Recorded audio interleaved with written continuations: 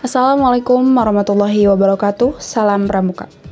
Demi terciptanya sistem usaha perkebunan yang lebih kompetitif, Kementerian Pertanian melalui Ditjen Perkebunan bersama pemerintah Kota Bogor menggelar event Semarak Perkebunan Nasional atau disingkat dengan Skena yang berlangsung dari tanggal 19 April hingga 21 April 2024 yang lalu di lapangan Sempur Kota Bogor.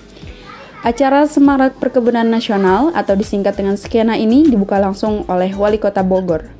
Direktur Jenderal Perkebunan Andi Nur Alamsyah mengapresiasi atas kerjasama dan kolaborasi pemerintah Kota Bogor yang telah bersama-sama menyukseskan kegiatan Skena. Sekian, wassalamualaikum warahmatullahi wabarakatuh. Salam Pramuka.